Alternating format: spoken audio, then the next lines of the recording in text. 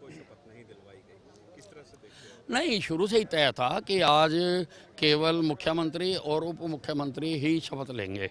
कोई मंत्री आज शपथ नहीं लेगा और आज क्योंकि दिवाली का दिन है और आज शुभ दिन है आज के दिन सरकार ने शपथ ली है इसको अच्छा माना जाता है और बाकी जो एक्सपेंशन है वो कभी भी हो सकती है। वो आपस में विचार करके कि किन किन लोगों को और शामिल करना है उसके बाद इसका शपथ ग्रहण समारोह होगा अब तक इसको लेकर किसी तरह का कोई विचार किया गया कि आपसे कोई नहीं नहीं, अब विचार होएगा, राय ली जाएगी, राय राय से ही होगा सब कुछ सर एक और बड़ा सवाल है जेजेपी के साथ जिस तरह से गठबंधन हुआ था लेकिन दोनों पार्टियों की बात करें तो विचारधाराएँ जो है वो काफ़ी अलग अलग है। आपको लगता है कि ये नहीं विचारधाराएँ अलग अलग नहीं हैं। देखिए जेजेपी भी कांग्रेस के खिलाफ ही अ, उनका जन्म हुआ है। उनकी रूट्स भी कांग्रेस के एंटी कांग्रेस हैं और भारतीय जनता पार्टी भी एंटी कांग्रेस है।